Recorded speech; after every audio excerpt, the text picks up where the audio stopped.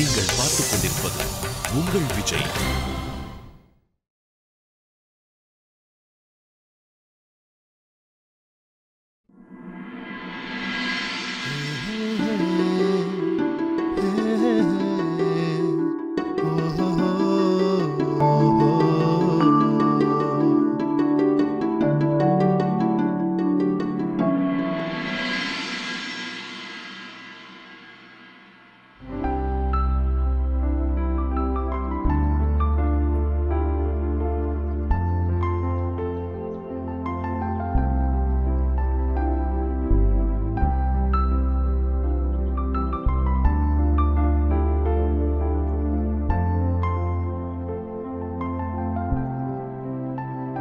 அண்ணே நம்ம வண்டியில் ஆயின்மெண்ட் இருந்துச்சுல அதை கொஞ்சம் எடுத்து கொடுங்களேன்.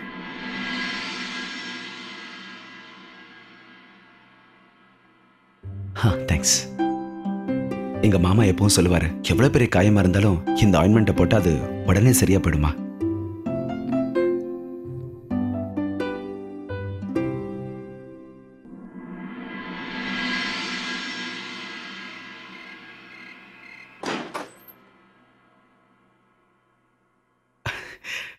ஸ்ருதி உண்மையிலேயே ரொம்ப நல்ல பிளான் பண்ணாங்க இல்லைன்னு ஆனா நீங்க எப்படி ஒத்துக்கிட்டீங்க? நீ என்ன சொல்ற?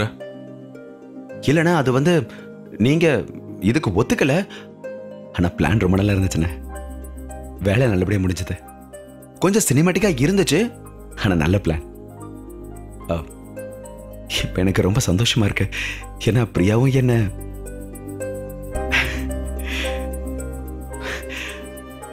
அண்ணா ஸ்ருதி உண்மையிலேயே கொஞ்சம் பைத்தியம் தான்ல எல்லாரோட டிஃப்ரெண்ட்ல அவங்களுக்கும் உங்களுக்கும் ரொம்ப தேங்க்ஸ் அண்ணா.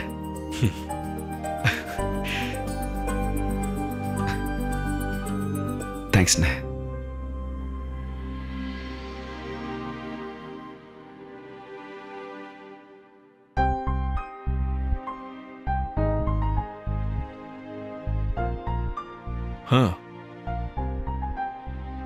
பைத்தியம்தான் அவ.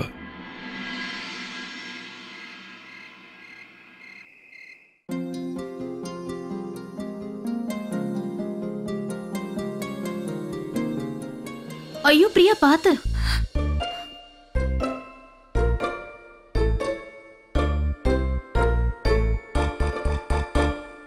பிரியா உங்களுக்கு உங்களுக்கு ஒண்ணும் இல்லைல்ல? அதுக்கப்புறம் அவரு தான் மாமாவோட ஸ்பெஷல் ஆயின்மெண்ட் வேற போட்டாரு. அதோட அற்புதமான ஸ்மெல் அது உங்க கையில மட்டும் இல்ல உங்க மனசுலயும் அப்படியே பதிஞ்சிருச்சு. ஸ்ருதி.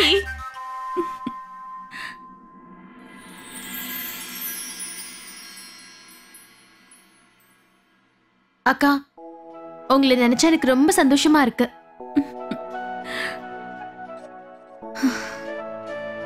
ஆனா ஸ்ருதி ஒருவேளை அவங்க வீட்ல இருக்கிறவங்க இதுக்கு ஒத்துக்கலன்னா? அக்கா அதான் அஸ்வின் எல்லாத்தையும் பாத்துக்கிறேன்னு சொன்னார்ல. ஆ அதுவும் உண்மைதான். ஸ்ருதி அஸ்வினை பத்தி என்னென்னமோ நினைச்சோம். ஆனா அவர் அப்படி இல்லவே இல்லைல்ல?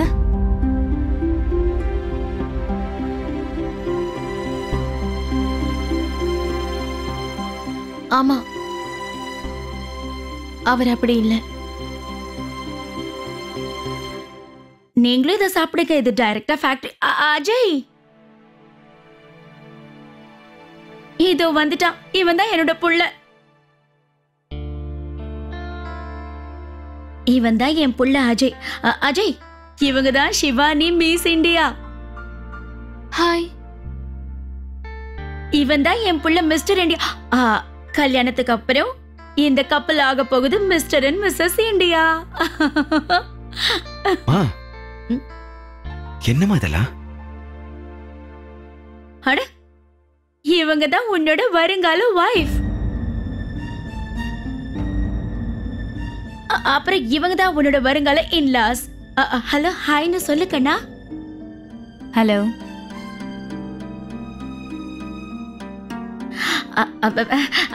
அது என்னன்னா உண்மையிலேயே என் புள்ள கொஞ்சம் ஷை டைப் ஆனா ரொம்ப குட் பாய் நான் என்ன சொன்னாலும் அதுபடிதான் கேட்டு நடப்பான். அம்மா எனக்கு இந்த கல்யாணத்துல இஷ்டம் இல்லை?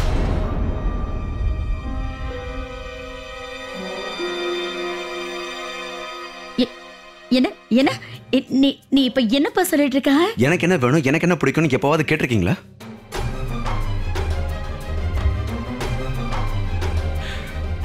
அம்மா எனக்கான பொண்ணை நான் ஏற்கனவே தேர்ந்தெடுத்துட்டேன்.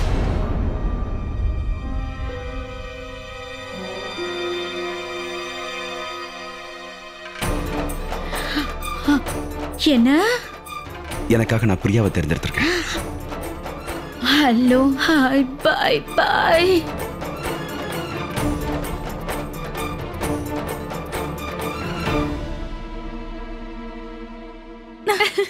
என் கண்ணாடி எங்க வச்சேன் அதை வேற காணோம். ஆ, நான் என்னன்னு சொல்லுவேன். நேத்து தெரியாதனமா கொஞ்சம் நிறைய ஐஸ்கிரீம் சாப்பிட்டுட்டேன். தலைவலி வேற அதோட ஜலதோஷம் வேற. ஆனா இந்த மகாராணிய பாரு. ஏன் கண்ணாடிய போட்டுக்கிட்டு நாடகம் ஆடிக்கிட்டு இருக்கா? குடு. அத குடு.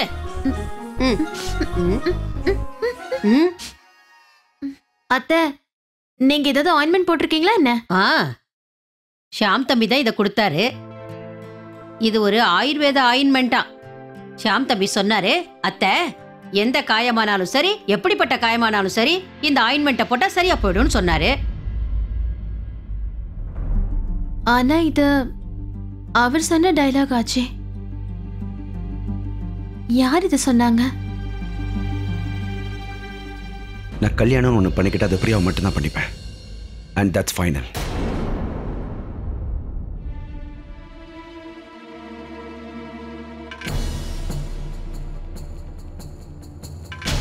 யாரு? இப்ப நீ யார பத்தி பேசிட்டு இருக்க அஜய் பிரியாவை பற்றி ஆ?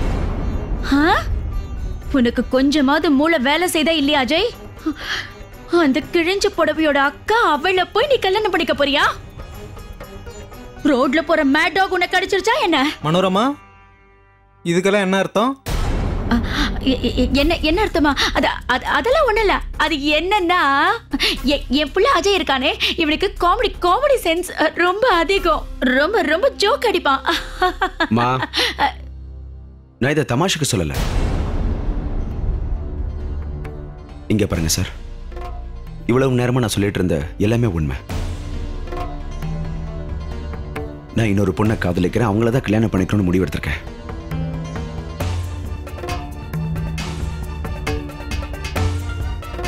உங்க பிள்ளைகிட்ட இந்த கல்யாணத்தை பத்தி முதல்ல கேட்டு இருந்தா நல்லா இருந்திருக்குமா வாங்க போலாம்.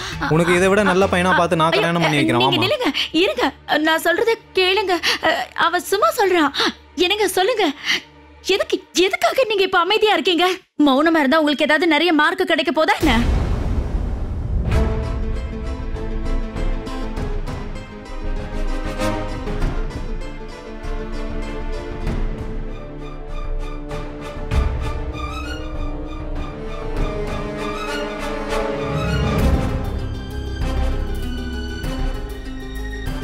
அப்பா அது இங்க பாருப்பா.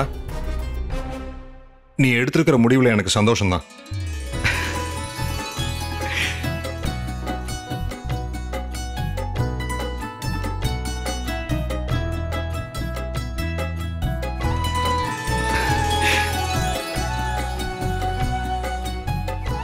ஹலோ ஹாய் பாய் பாய் எல்லாரும் என்னையே எதிர்த்து பேசுறீங்களா? உங்களை இந்த கல்யாணம் நடக்க நான் விட மாட்டேன் சொல்லிட்டேன். என்னாச்சு மனோரமா? இப்ப எதுக்கு தேவையில்லாம ரொம்ப ஓவரா பேசிட்டு இருக்க நீ? உனக்கு என்ன தோணுது? அஜய் மிஸ் இந்தியா மாதிரி ஒரு பொண்ணை கல்யாணம் பண்ணிக்குவான்னு உனக்கு எப்படி தோணுச்சு?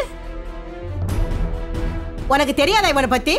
அஜய்க்கு எப்படிப்பட்ட பொண்ணு பிடிக்கும்னு நீ முதல்ல யோசிச்சிருக்கணும். அத்தம்மா என் புள்ள அஜய பத்தி எனக்கு ரொம்ப நல்லாவே தெரியும். அவன் எப்பவும் சிம்பிளா தான் இருப்பான். ஆனா இது கல்யாணம் சம்பந்தப்பட்ட விஷயம். ஆனாலும் இதுல ரொம்ப ஓவரா சிம்பிள் ஆயிட்டான்னு நினைக்கிறேன். எவ்வளவு பெரிய பணக்கார குடும்பம்? அந்த மிஸ் இந்தியா குடும்பத்தை விட்டுட்டு அந்த ஏழு குடும்பத்தை சேர்ந்த எதுக்கும் யூஸ் இல்லாத ஒரு பொண்ணு தேர்ந்தெடுத்திருக்கான். அந்த கிழிஞ்ச புடவையோட அக்காவை எதுக்காக இவன் கல்யாணம் பண்ணிக்கணும்? பொண்ணு மட்டும் ஞாபகத்துல வச்சுக்க. என்னைக்குமே இதுக்கு நான் சம்மதிக்க மாட்டேன். இது நடக்கவே நடக்காது.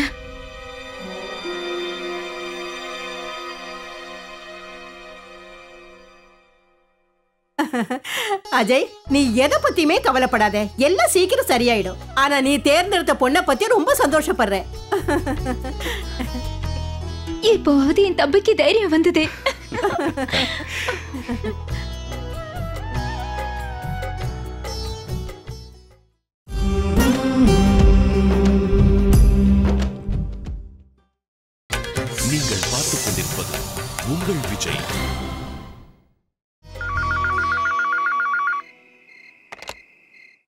ஹலோ?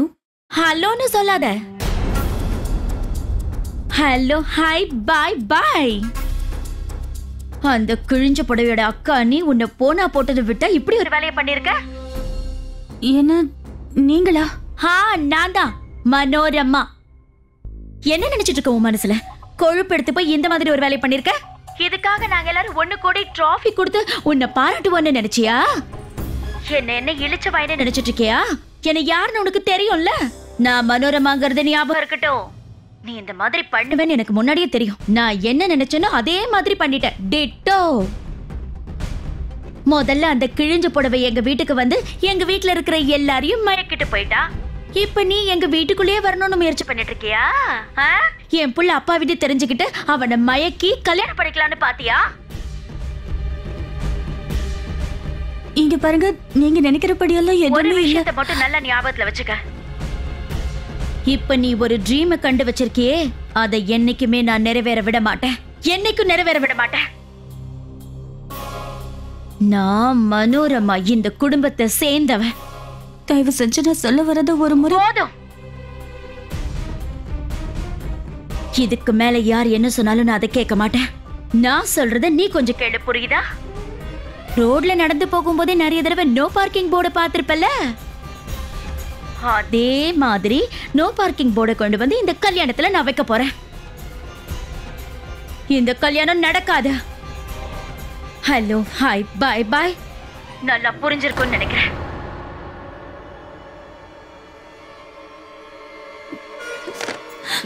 ஏ பிரியா என்னாச்சு உனக்கு? என்ன புரிஞ்சுக்கோங்க அஜய். என்னால நிச்சயமா முடியாது. உங்க அம்மாவுக்கே நம்ம கல்யாணம் செஞ்சுக்கிறதுல இஷ்டம் இல்ல. எனக்கு நல்லா புரிஞ்சிருச்சு. உங்க அம்மா நிச்சயமா என்னை ஏத்துக்க மாட்டாங்க. அவங்க என்ன நினைக்கிறாங்கன்னா உங்க பணத்துக்காக நான் உங்களை மயக்கிட்டேன்னு நினைக்கிறாங்க. இல்ல அஜய் அவங்க கிட்ட பேசினாலும் பிரயோஜனம் இருக்காது. இங்க பாருங்க. நான் சொல்றத புரிஞ்சுக்கோங்க. அவங்க இப்படி கோமா இருக்கும்போது நம்ம எப்படி கல்யாணத்தை பத்தி யோசிக்க முடியும்?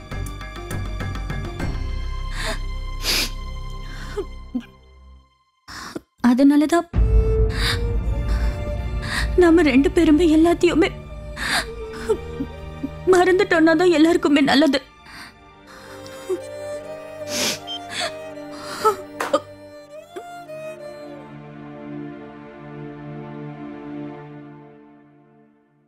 அஸ்வின் உங்களை போய் எல்லாத்தையும் பாத்துக்கிறேன்னு வேற சொன்னீங்கல்ல? ஆனா இப்போ இந்த பிரச்சனை? எல்லாத்தையும் சமாளிக்கிறதுல இதானா?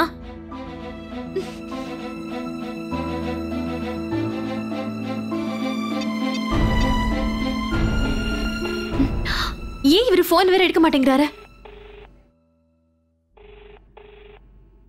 ஹலோ நீங்க என்ன பண்ணிக்கிட்டு இருக்கீங்க? உங்களை சுத்தி என்ன நடக்குதுன்னு உங்களுக்கு தெரியுமா? யாரோ யாருக்கோ ஃபோன் பண்ணி என்ன பேசுனாங்கன்னு தெரியுமா? அதோட உறவெல்லாம் முடிஞ்சிரும் அர்த்தமா? இதெல்லாம் நடக்கும்னு தெரிஞ்சிருந்தா ஏன் எங்க அக்காவை சம்மதிக்க சொல்ல நீங்க கேட்டீங்க? இப்ப ஏன் எதுவும் செய்யாம இருக்கீங்க? போனை கட் பண்ணிட்டாரு? நான் பேசிக்கிட்டு இருக்கும்போது போனை கட் பண்றாரு? பண்ண பண்ணட்டும். நான் இப்பவே இந்த நிமிஷமே அங்க கிளம்பி போய் டைரக்டா பேசிக்கிறேன். அப்ப எப்படி கட் பண்றாருன்னு பாக்குறேன். அத நான் கொஞ்சம் வெளியே போயிட்டு வரேன். ஒரு மணி நேரத்துல வந்துடு சரியா? ஏ ஸ்ருதி நீ எங்க போறேன்னு சொல்லிட்டு போயேன் அட கடவுளே. இவ என்ன பண்றா என்ன செய்யறான்னு ஒண்ணுமே புரிய மாட்டேங்குது. ஒருத்தி அங்க உட்காந்து அழுதுகிட்டு இருக்கா? இன்னொருத்தி வேலை வேலைன்னு எப்ப பார்த்தாலும் ஓடிக்கிட்டே இருக்கிறா. நான் என்ன செய்யறது? இதையெல்லாம் பார்த்துக்கிட்டு பேசாம உட்கார்ந்து இருக்கிறதா ஆமா நான் பண்றது பெரிய தப்பு தான் அதனாலதான் உங்க எல்லாருக்கும் இது பெரிய குத்தமா தெரியுது. இங்க பாருங்க aunty. This is not fair right இது பாரு மிஸ் லாவண்யா. எது ஃபேரோ ஃபேர் இல்லையோ. ஆனா அந்த பொண்ணு பண்ணது ராங் வேலை தானே? என் பிள்ளைக்கு ஃபோன் பண்ணி என்னை பத்தி என்னென்னவோ சொல்லியிருக்கா. என்னை பத்தி கம்ப்ளைண்ட் பண்ணியிருக்கா. அதனால தான் என் பிள்ளை இப்படி நின்னு கத்திக்கிட்டு இருக்கான் மா பிரியா கம்ப்ளைண்ட் பண்றதுக்காக எனக்கு ஃபோன் பண்ணல. அவங்க எதுக்காக எனக்கு ஃபோன் பண்ணாங்க தெரியுமா? அது வந்து போதும்.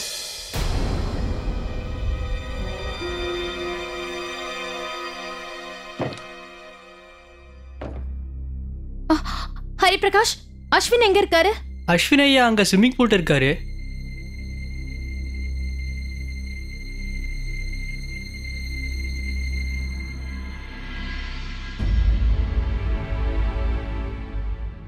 ஸ்ருதி?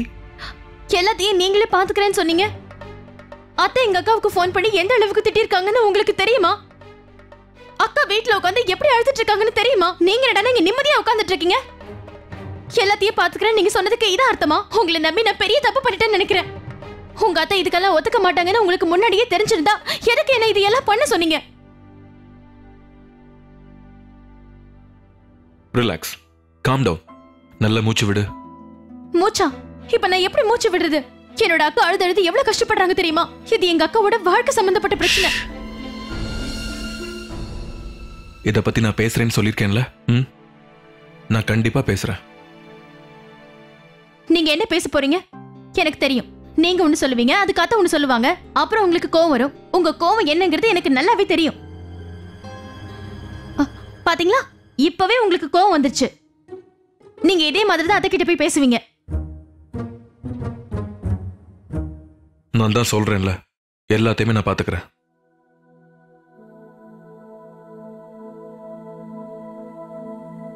இல்ல.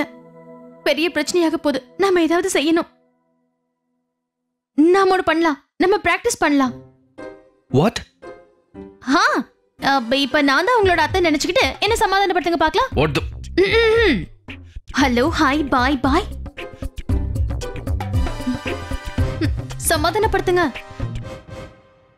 நான் இப்பவே சொல்றேன் அஜய். திரும்பவும் அந்த பொண்ணுக்காக சப்போர்ட் பண்ணிட்டு என்கிட்ட பேசின அவ்வளவுதான் சொல்லிட்டேன். ஹலோ ஹாய் பாய் பாய்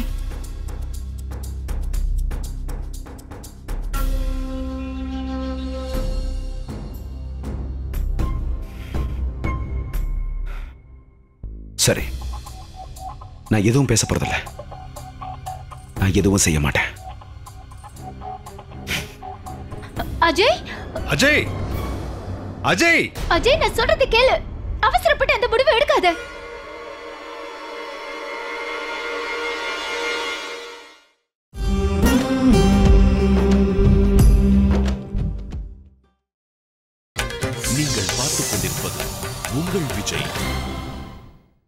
பைத்தியக்காரத்தனமா பேசாத. பைத்தியக்காரத்தனமாவா? என் பிளான சொன்னப்போ இப்படிதான் சொன்னீங்க. ஆனா என் பிளான் நல்லா ஒர்க் அவுட் ஆச்சுல அதனால இப்ப நான் சொல்றபடி நீங்க செய்யுங்க. என்ன சமாதானப்படுத்துங்க.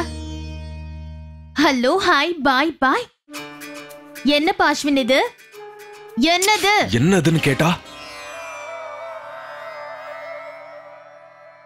இங்க பாருங்க. இது அவனோட வாழ்க்கை. அவனுக்கு பிடிச்ச பொண்ணு. அப்புறம் எத்தனையோ சர்வே எடுத்து பார்த்தோன்னா எல்லாருமே தனக்கு பிடிச்ச மாதிரி தான் வாழணும். அப்பதான் லைஃப் நல்லா இருக்கும் இன்ஃபேக்ட் இந்த உலகத்துல இருக்கிற சிக்ஸ்டி பர்சன்டேஜ் ஆஃப் பீப்புளை பார்த்தீங்கன்னா நீங்க அவங்களாம் இப்படிதான் பேசுவீங்களா? சர்வே பர்சன்ட்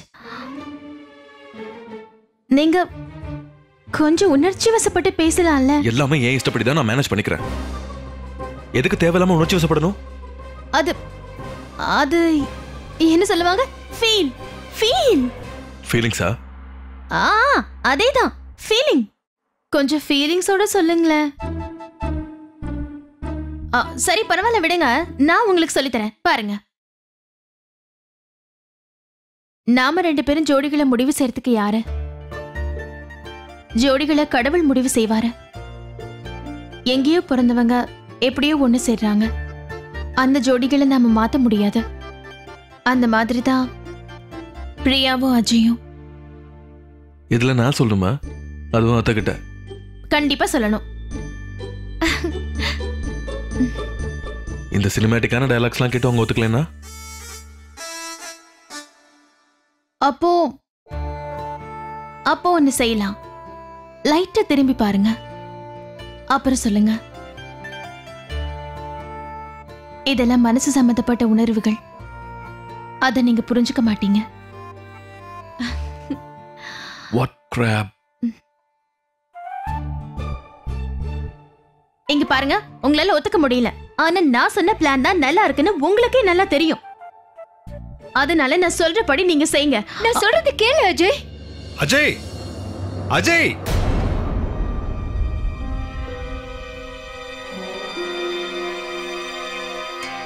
அஜய் ஒரு நிமிஷம் நில்லு. அஜய்! அஜய்! அஜய்!